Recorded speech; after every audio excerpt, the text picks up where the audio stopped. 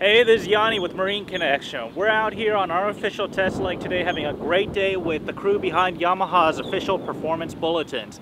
Today we're going to be testing the Sportsman 251 equipped with a single Yamaha F300 XCA outboard along with the twin-powered F150 XA Sportsman 251 Heritage.